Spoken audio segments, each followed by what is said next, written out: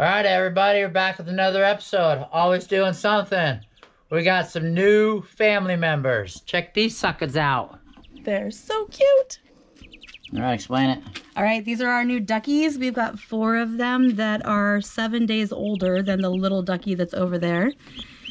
Um, Uh, Daryl. I was gonna say we're pretty sure this is gonna be Daryl, and this is Larry. You're okay. Aren't they the cutest ever? They're super cute. And then these guys we haven't named yet. So if you have a name for them, tell us. They're super cute. Oh, oh, oh, hold on. Look at this guy too. He's like his twin brother or sister. We're not sure if they're boys or girls. We haven't learned how to tell that yet.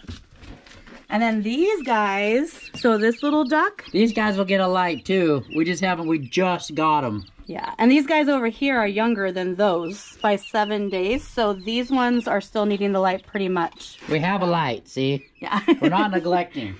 so this guy is seven days younger than those guys. And so look what happens in seven days, but so cute. And I think we're going to keep his name. Whatever. You're the boss. I think he's going to be Oreo. So he's super, super, super cute. Check out his little feet. He's got different colors everywhere. He's not really sure. He's only a day old. And they get big pretty, pretty quick. These guys over here, so these are little serranas. And Miniature. Serranas are little miniature chickens that don't get big at all. They get um, less than half the size, half the size of a chicken. And they're going to be really small and cute when they're full size. And then we have these guys. These guys are what's called frizzles. There's a black and a light one. And these frizzles, if you look at their little feet, I guess you can't really see it that well if I have both. Their little feet, see they're furry? So they're gonna end up with little furry feet and a big furry head. And they'll be a little bigger than the serranas. So those are going to be growing too. And then this little guy is a mix.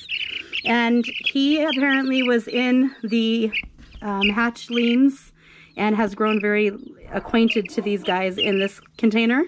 So he's going to stay with our family and he's kind of an adopted guy. And he's super cute. I don't know what we're going to name him yet either, but as we get to know him and as we raise them, we'll get to name them all. So tons of fun going on. We got to get them water and food and get their light back on, but we're really excited to see these guys grow up and to have ducks again. All right.